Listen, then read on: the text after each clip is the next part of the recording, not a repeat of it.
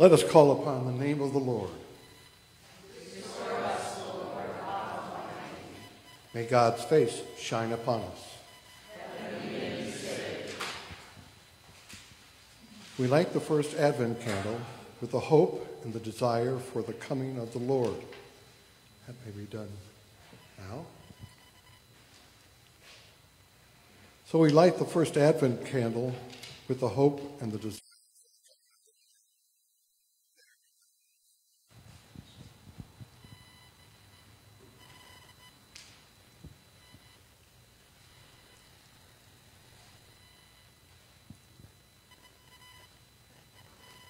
Let us pray together. Holy and gracious God, we pray that we, like this candle, so too, by fire of hope, be kindled in our hearts. May we hold this hope gently as we are urged to stay awake and be ready for our most amazing event.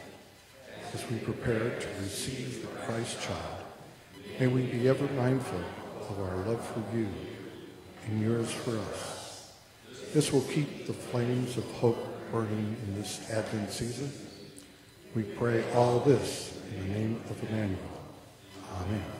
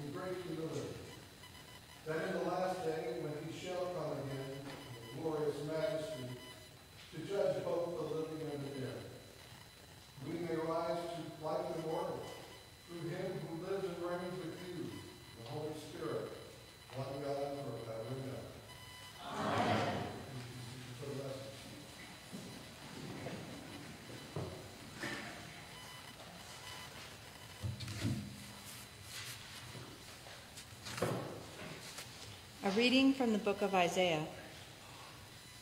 The word that Isaiah, son of Amos, saw concerning Judah and Jerusalem. In days to come, the mountain of the Lord's house shall be established as the highest of the mountains and shall be raised above the hills. All the nations shall stream to it. Many people shall come and say, Come, let us go up to the mountain of the Lord, to the house of God, of, of the God of Jacob that he may teach us his ways, and that we may walk in his paths. For out of Zion shall go forth instruction, and the word of the Lord from Jerusalem. He shall judge between the nations, and shall arbitrate for many peoples. They shall beat their swords into plowshares, and their spears into pruning hooks. Nation shall not lift up sword against nation, neither shall they learn war any more.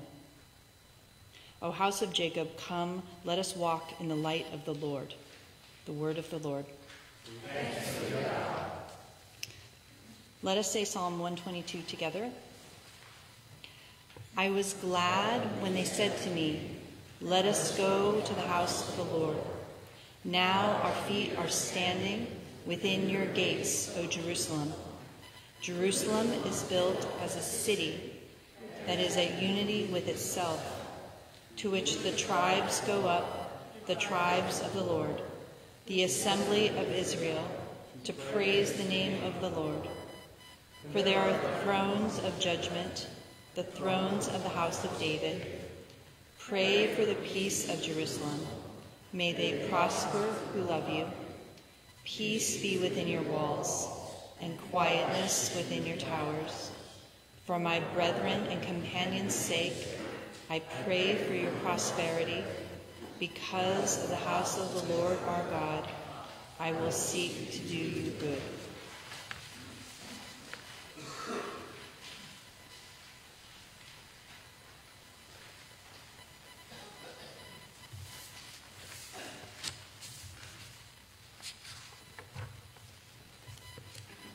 A reading from the letter of Paul to the Romans. You know what time it is, how it is now, for the moment, for you to wake up from sleep. For salvation is never nearer to us now when we became believers. The night is far gone, the day is near. Let us then lay aside the works of darkness and put on the mirror of light.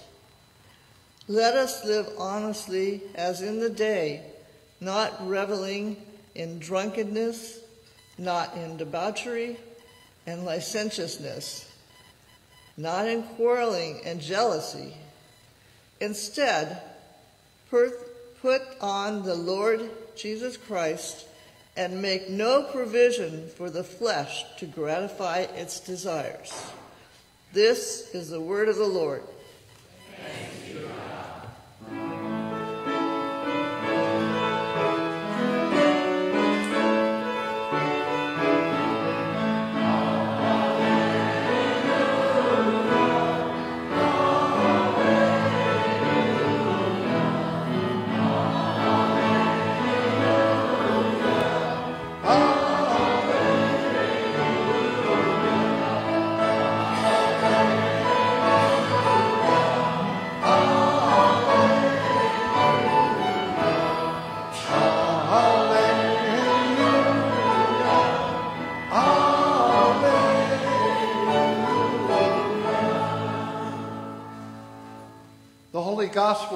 Lord Jesus Christ according to Matthew.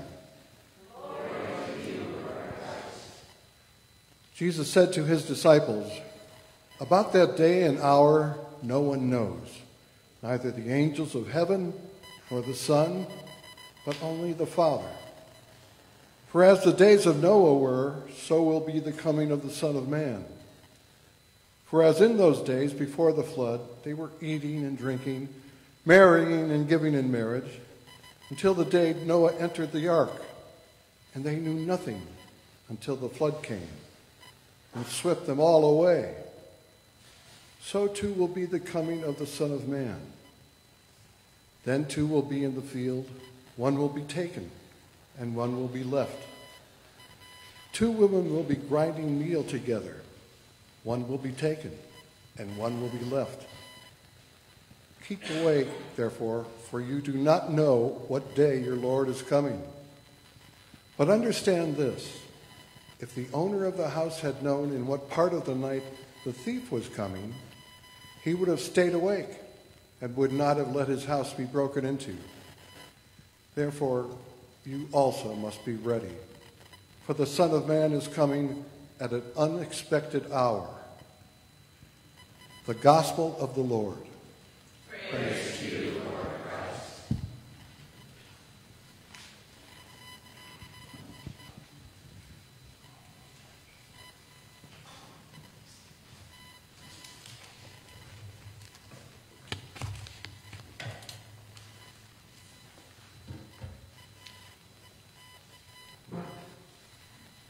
My brothers and sisters in Christ, it is good to be with you today, and greeting to those who are joining us online. Let us pray. Open our ears, O Lord, to hear your word and know your voice.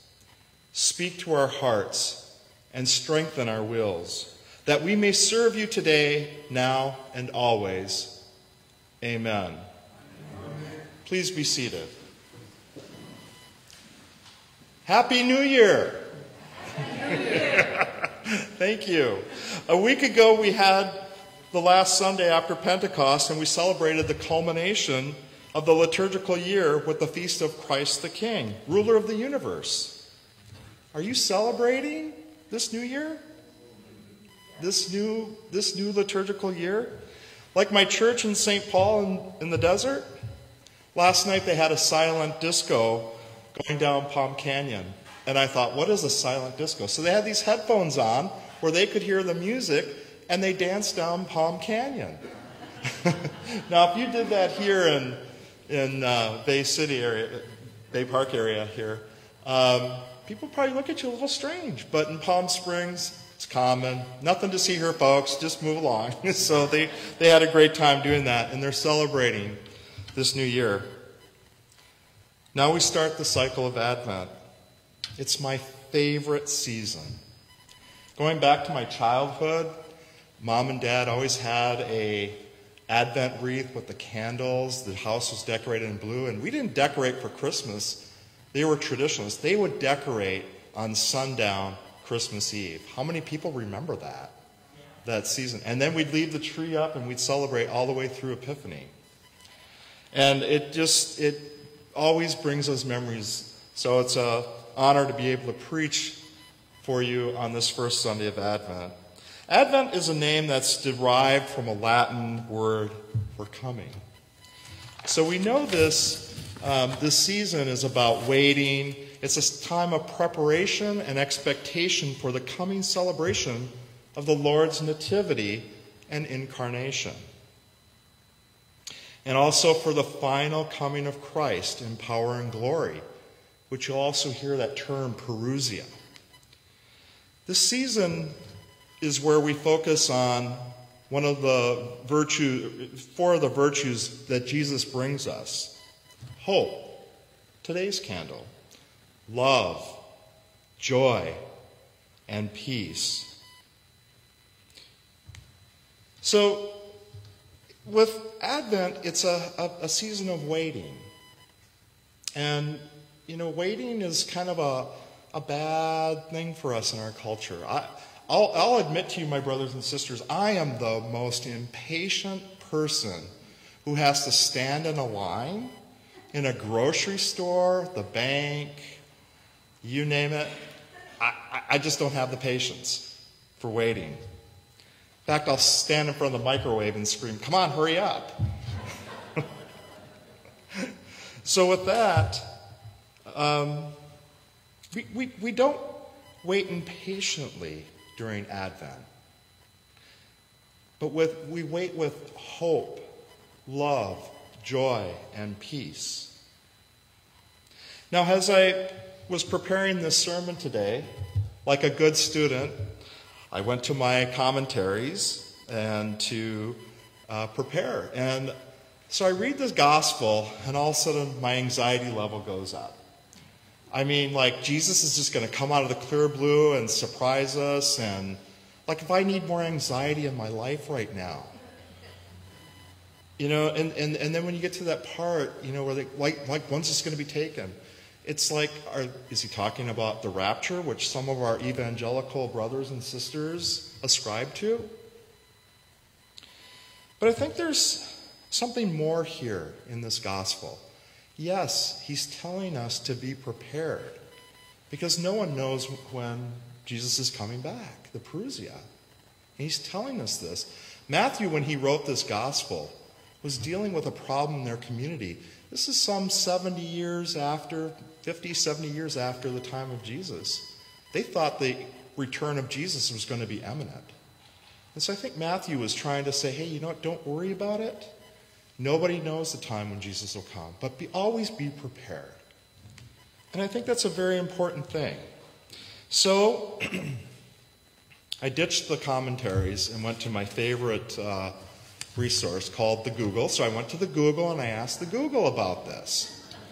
And, you know, I'm telling you, I find so many good stuff, so much good stuff on Facebook too. So I just want to share this with you this morning. And this was really what helped change my idea of this. The key is noticing. That's Jesus' clear message on this first Sunday of Advent. Stay awake, he says. One way to understand that invitation is be aware of the new ways that God is at work in your life. And now we'll hear from John the Baptist soon talking about repent, prepare a way for the Lord. And it's repent is, is kind of a, a translation of metanoia. Um, it's really more about a theological, or a, it's a deeper change that goes in our mind and our heart. And part of that change is noticing that is being open to change itself. Being open to change itself this Advent season. As we start a new liturgical year, are we open to those changes? I know I certainly need to be. This last liturgical year has been a really rough one for me. With school, um, with things going on in my former church, and then starting new in St. Paul in the desert. So I'm hoping for a better liturgical year. But what I think we need to focus on here are those kairos moments. That's what Jesus is talking about. Beware of the kairos moments. Now, that word kairos, it comes from the ancient Greek. It's a term that's translated as the right time, the opportune moment to do or say something. But in our New Testament, kairos means the appointed time and the purposes of God, the time when God acts And I think about that, and I go back and I wonder hey, when were those times that God broke through in a kairos moment for me? I invite you to think about those this week as you go through the season of Advent. You know, so many times I treat God like the cosmic butler you know, always asking God for something. And when do I want it? Being impatient? I want it now. I want it now. so that's my my thing is like, okay, so I'm asking God, I'm asking God, I'm asking God. And then in my self-centeredness and selfishness, I'm not listening for when God is asking me of something. God asks me, and what do I do? I make God wait. I ignore it. And then I get a really big kairos moment in my life. And I go, ah, yes, God, I get it. And they come in very surprising moments. When I see somebody helping a homeless person, showing kindness and compassion. A couple weeks ago, I had the I went down to the border uh, of Mexicali, and there's a humanitarian crisis going on. And I met families who are waiting to get their pa- paperwork processed to come to the United States. Their families are ready to sponsor them. And in one shelter, I met a family who's been waiting one month and three days. Literally in the shelter, they have they, they don't go anywhere. They they're patiently waiting. And I think about my impatience. So again, I'm going to go back to this. I'm hoping for a better liturgical year. That's what this new year is about for us with Advent. So let us, I'm going to close in prayer here. O God of the universe and wonder, fill our minds, hearts, and actions this season of Advent with hope, love, joy, and peace that can only come from you. Amen.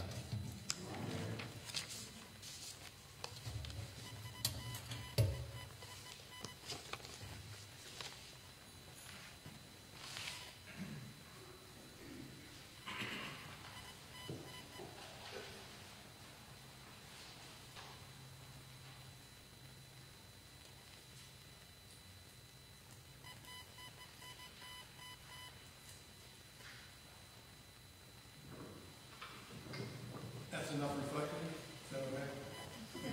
What's that? We reflected enough? Oh, yes, yes. Oh, sorry. I like that. Let us uh, say together, the creed that unites us. The Nicene Creed. We believe in one God.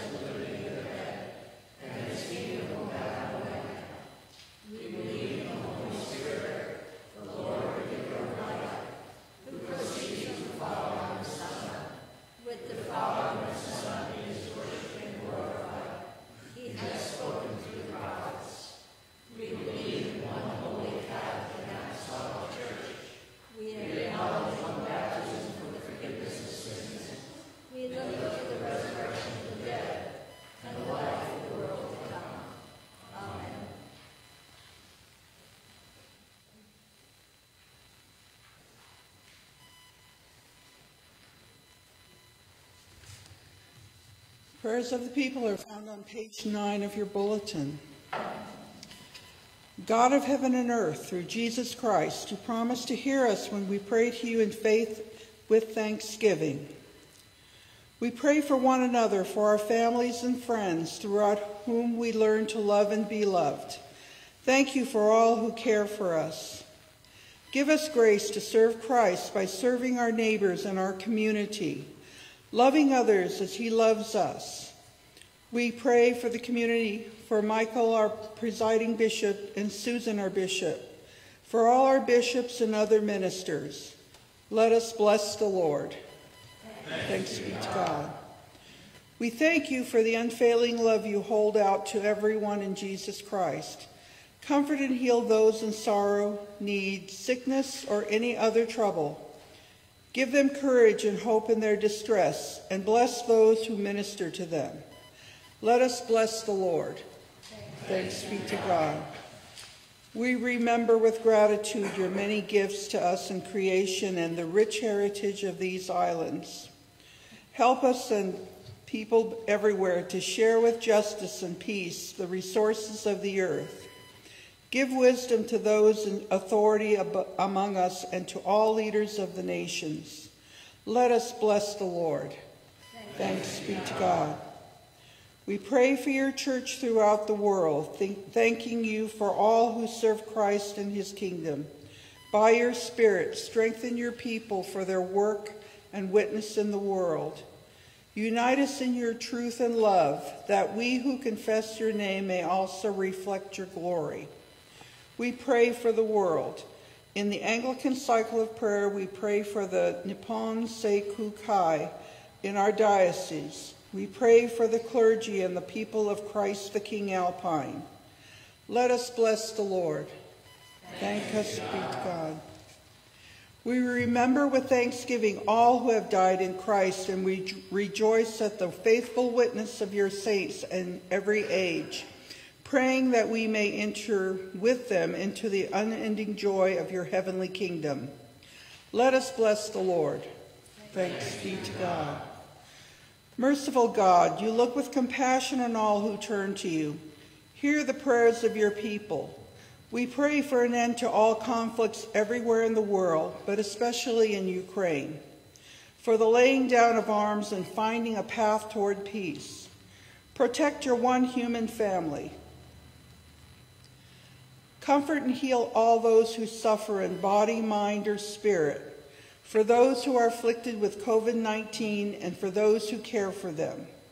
Give them courage and hope in your their troubles and bring them the joys of your salvation.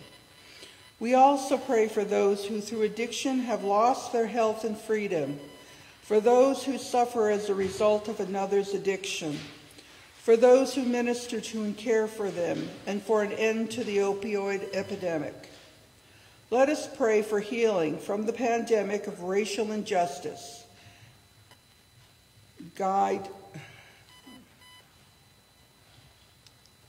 grant that we may have faith and that we may, by your grace, receive through Jesus Christ our Lord. Amen. God of mercy, you have given us grace to pray with one heart and one voice, and have promised to hear the prayers of two or three who agree in your name. Fulfill now, we pray, the prayers and longings of your people, as may be best for us and for your kingdom. Grant us in this world to know your truth, and in the world to come to see your glory. Amen. Let us confess our sins against God and our neighbor.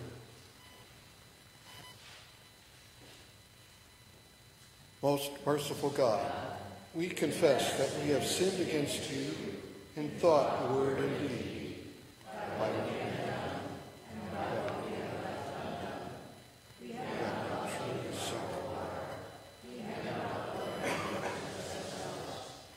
We are truly sorry and we humbly repent for the sake of your Son,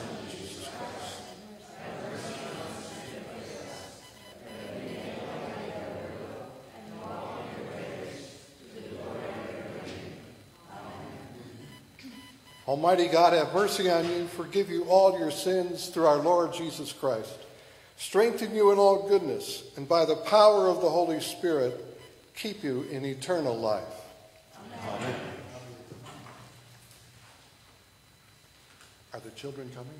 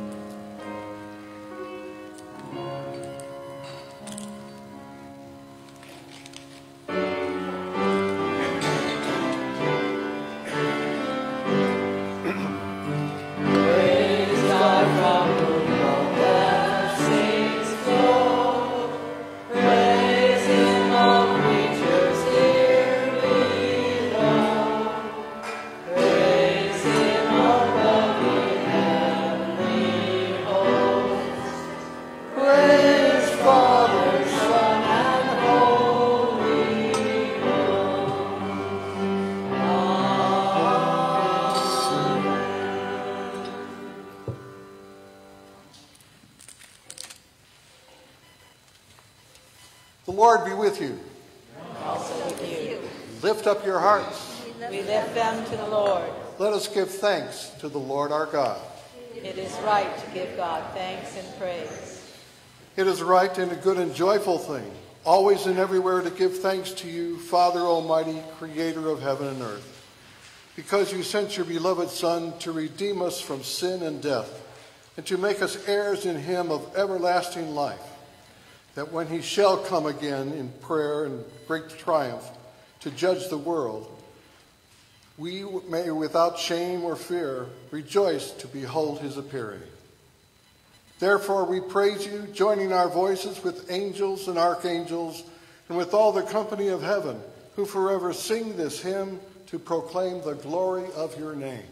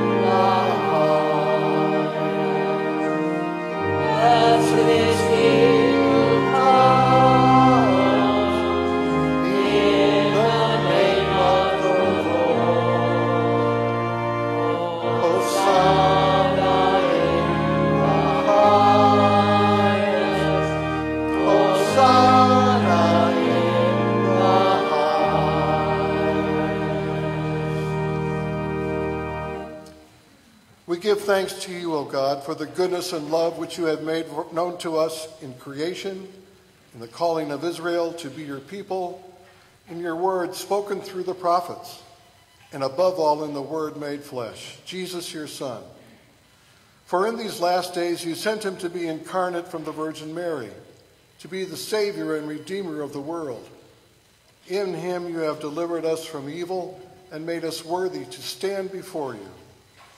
In him you have brought us out of error into truth, out of sin into righteousness, out of death into life.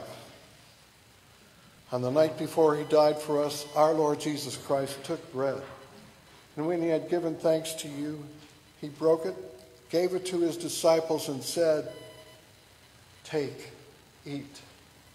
This is my body, which is given for you. Do this in remembrance of me.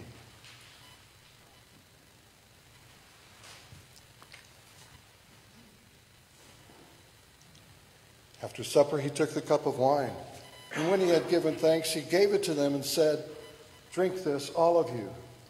This is my blood of the new covenant, which is shed for you and for many for the forgiveness of sins. Whenever you drink it, do this for the remembrance of me.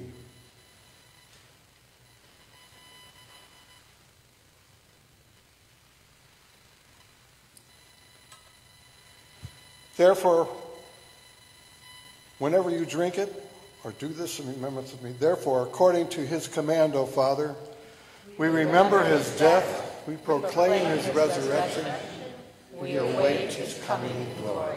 And we offer our sacrifice of praise and thanksgiving to you, O Lord of all, presenting to you from your creation this bread and this wine.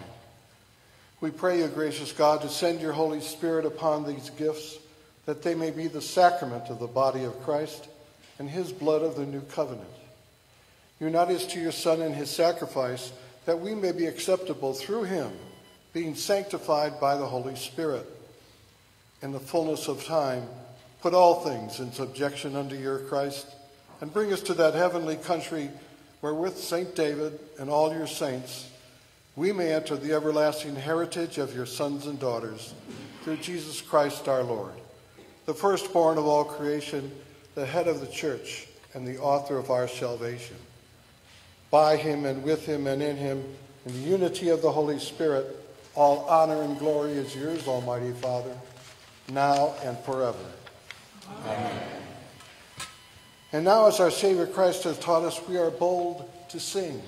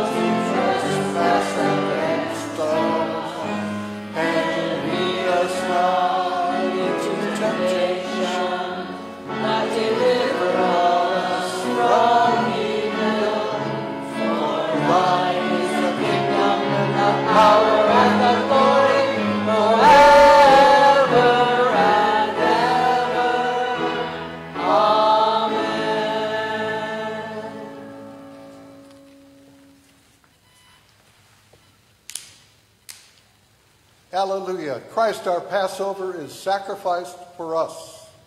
Therefore, let us keep the feast. Hallelujah.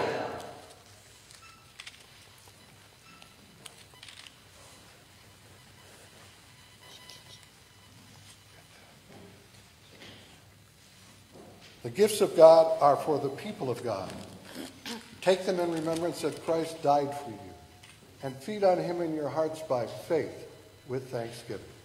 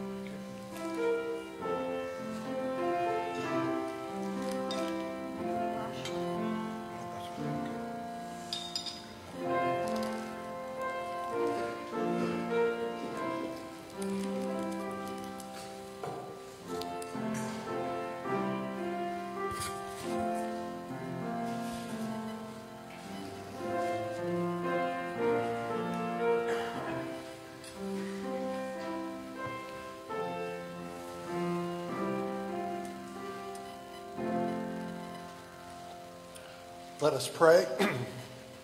Eternal God, Heavenly Father, you have graciously accepted us as living members of your Son, our Savior, Jesus Christ.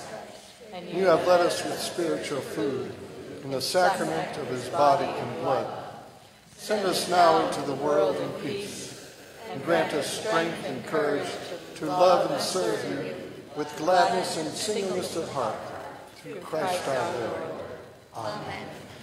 May Almighty God, by whose providence our Savior Christ came among us in great humility, sanctify you with the light of his blessing and set you free from all sin.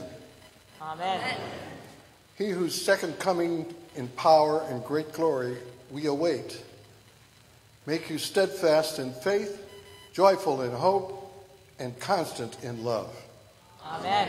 May you who rejoice in the first advent of our Lord Redeemer and his second advent be rewarded with unending life. Amen. Amen. And the blessing of God Almighty, the Father, the Son, and the Holy Ghost descend upon you and remain with you now and always. Amen. Amen. Please be seated for the. Thank you. Anyone that has a birthday or a parent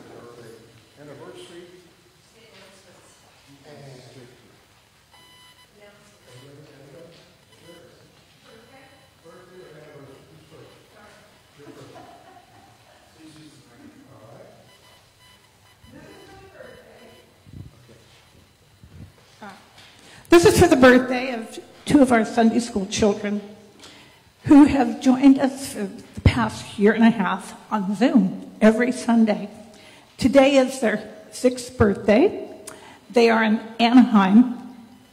Guess where they're going today? But what they wanted to do was to um, not miss Sunday school. So happy birthday to Noel and Noella today. Oh, glad to be here and uh, wonderful to be part of this. Yeah, it's my birthday. Happy birthday.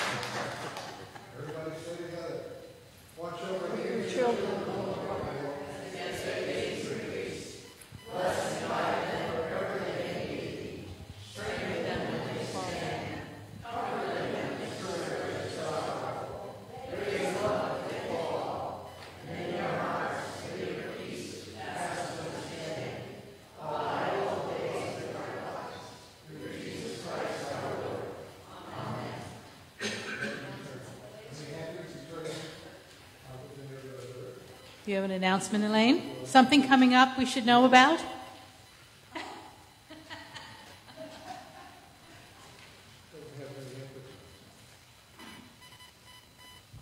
First, please don't forget as you leave today to grab your shopping bag. This is for our annual, the 17th annual Bay Park Food Drive.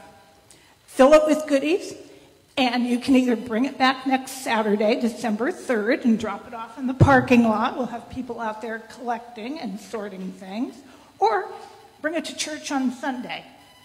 And we will make sure it gets to Feeding San Diego. this is a, an event that started in a house across the street from St. David's. And then um, that couple moved into our rectory for a couple years. And but what they've done is they've kept this going. So this is a Bay Park Food Drive. We want you to all join in.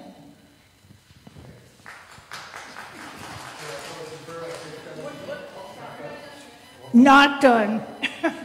this this particular announcement, in particular, is actually from the Reverend Mother Susan Astorita. This particular Sunday, all of our clergy members were asked to talk to their parishes and encourage members to come to the Good News Festival. Steve and I are on that committee putting this together, and we've been actually working on it for two years. We had to cancel it last year, so it is taking place.